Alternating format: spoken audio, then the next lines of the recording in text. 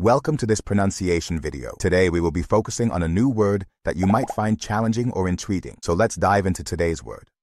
Morazán, which means A geographical name, commonly referring to Francisco Morazán, a Central American statesman. Let's say it all together. Morazán. Morazán. Morazán. One more time. Morazán. Morazán. Morazán.